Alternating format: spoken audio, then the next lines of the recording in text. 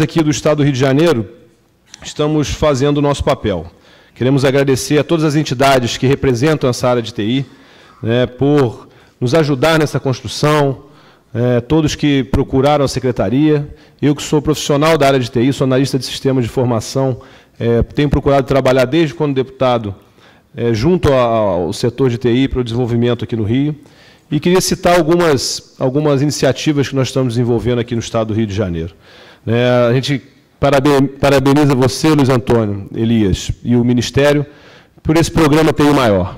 Um programa que veio, como o Benito disse, colocar uma política pública clara para o desenvolvimento da TI, muita, mostrando que muitas das vezes não precisamos de tantos recursos, mas, mas, na maioria das vezes um processo organizado de articulação junto ao mercado, junto às entidades de fomento que possam estar desenvolvendo essa área. Então, o programa TI Maior vem enfrentar esse problema e vem tendo avanços e reconhecimento da área no desenvolvimento do TI Maior. E ressaltar que dentro do TI Maior, a grande maioria das aceleradoras contempladas são aqui sediadas no Rio de Janeiro.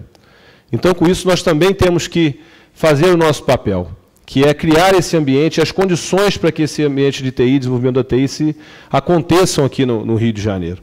Então, queria já é, anunciar aqui mais uma vez que nós estamos lançando brevemente, provavelmente no início de outubro, o nosso programa Startup Rio, alinhado com, com o governo federal, com o Ministério da Ciência e Tecnologia, um programa que tem todo um suporte com recursos da FAPERJ, que nós vamos estar oferecendo um edital para startups no Rio de Janeiro, com recursos da ordem de 5 milhões de reais, que vai ser lançado agora em outubro. A ideia é a gente criar um espaço de coworking, é, o financiamento ou o fomento a essas ideias para que elas possam chegar maduras ao processo de aceleração. Então, nós estamos considerando como se fosse um processo de pré-aceleração. Não, não adianta a gente ter aqui no Rio a maioria das aceleradoras que vão participar do TI maior e a gente não ter um produto de qualidade, as ideias desenvolvidas com qualidade. E para isso a gente vem contando com a parceria é, do governo federal, da prefeitura e o Estado do Rio de Janeiro atuando em conjunto, com as entidades do setor, com apoio do SEBRAE, é, com suporte da FAPERJ também pela Secretaria e pelo Governo do Estado. Então, é, a UERJ, que vem ceder, vai ceder o espaço para é, a nossa área de coworking. Então, é, esse lançamento que está sendo previsto aí para o início de outubro ainda desse ano.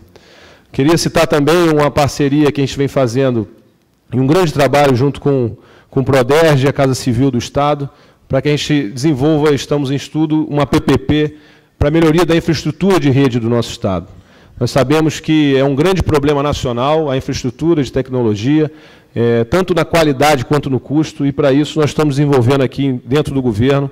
É, Paulo Coelho está aqui representando o PRODES, nosso presidente, junto com a Casa Civil, a Secretaria de Ciência e Tecnologia, uma PPP para a melhoria da rede de infraestrutura no estado do Rio de Janeiro.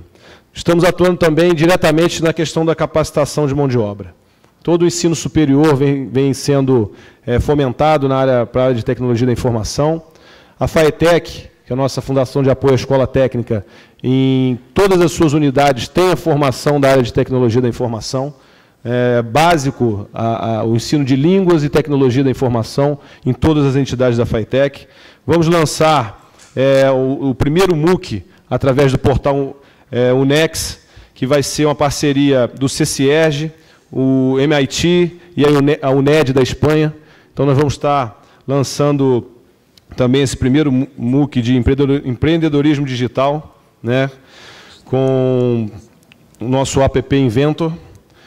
E nossa, uma equipe nossa da secretaria que esteve visitando na semana passada o MIT para que a gente possa utilizar o Scratch como uma ferramenta para o ensino de programação para crianças. Né? Essa equipe esteve lá visitando e agora, em outubro, é, vamos receber aqui a equipe do MIT para a gente possa estar é, sacramentando esse convênio e introduzindo isso é, no estado do Rio de Janeiro, o ensino de programação para as crianças e jovens aqui do nosso estado. Então, queria trazer essas informações, ressaltar a importância desse debate que é trazido aqui na Rio Info, a importância desse evento para o estado, para o Brasil, mas é um orgulho para a gente receber aqui no estado do Rio de Janeiro e esperar também que a gente possa estar provocando, principalmente debates aí no decorrer do evento, na área de governo eletrônico, cidades digitais, na área de inovação, e também no debate da melhoria da infraestrutura de, de comunicação, que a gente precisa muito para o desenvolvimento da área. Então, parabéns mais uma vez você, Benito. Muito obrigado a todos e um bom dia.